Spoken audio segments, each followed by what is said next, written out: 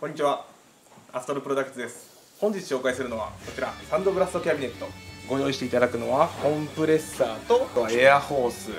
あとは吹きつけるメディアですね。メディアをこの中にザーッと入れていただきます。でまずご紹介するのは、えーと、自動車のブレーキキャリパー。汚いですね。でこれの一つだけブラストかけてみます。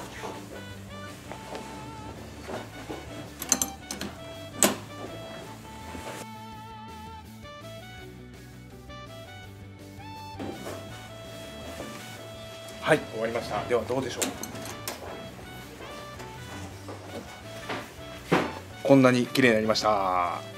どうでしょう？ちなみに先ほどのキャリパーはこちらですね。こんなに綺麗になってますね。えーと、こんなこともできますよということで、えーとステンレスの板にカッティングシートとマスキングテープを貼ってエッチングですね。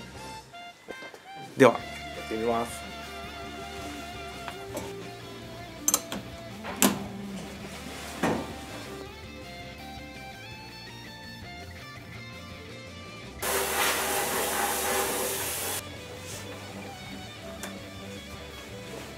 先ほどのステンレスの板がこうなりました。このマスキングテープとカッティングシールを剥がしてみますね。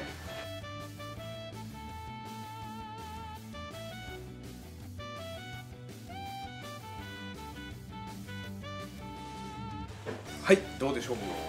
ご覧ください、えーと、テープを貼ったところは砂が当たらないので、えーと、ツヤツヤのままで砂が当たったところがザラザラの艶消しに仕上がってます。どうでしょう？最後に、まあ、このような錆びたボルトだとか、えー、まあ、これカラーですねも、えー、サンドブラストでどのようになるか試してみましょう。